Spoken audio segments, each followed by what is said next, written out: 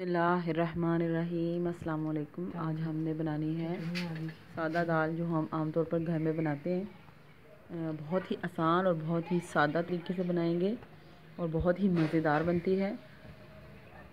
तो आइए देखते हैं ये कैसे बनती है।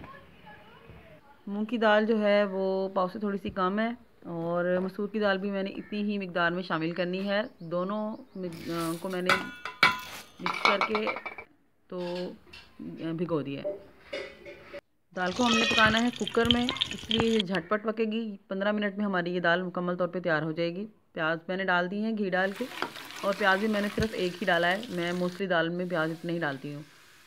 प्याज ब्राउन होने पर हमने इसके अंदर लहसुन शामिल कर दिया है। सीज़न के हिसाब से हरा लहसुन आम है तो मैं इसमें हरा लहसुन ही डालती हूँ। दो टीस्पून मैंने इसके अंदर सुरख मिर्च पाउडर डाला है। एक टीस्पून मैंने इसके अंदर दड़े वाली मिर्ची डाली है और एक टीस्पून मैंने इसके अंदर हल्दी डाली है और एक ही टीस्पून मैंने इसके अंदर नमक डाला है और फ्रोज़न टमाटर मैंने इसके अंदर क्रश करके रख लिए हुए थे, वो डाल दिए हैं। अब मैंने इसके अंदर सब्ज़ मिर्चें काट के रखी हुई थी, वो डाल दी हैं। चार से पाँच मैंने सब्ज़ मिर्चें डाली हैं। मसाला मेरा भुन गया है, मैंने पानी डाल दिया है। अब मैं इसके अंदर साथ ही दाल डाल दूँगी।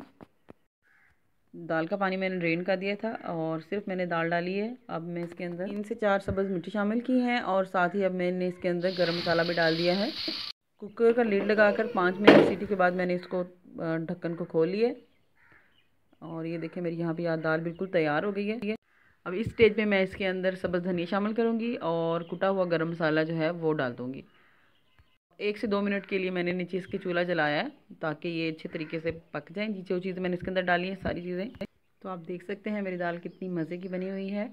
आप मेरे इस मेथड को ज़रूर ट्राई करें और मुझे मेरे साथ शेयर करें आपको ये मेरा मेथड कैसा लगा और ये इतनी आसान तरीके से बनती है कि बस रखो और भूल जाओ। तो मैंने यहाँ पे इसको सर्व किया है रायते के साथ और साथ सैलड भी है।